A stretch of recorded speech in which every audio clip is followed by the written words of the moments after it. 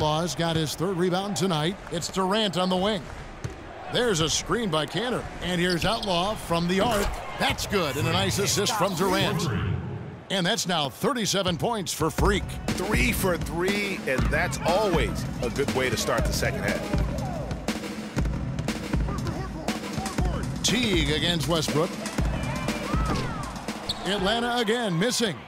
And out of the gates here in this second half, they have not started well. 0 of 3. Pass to Outlaw. Takes the three. And the Thunder another three.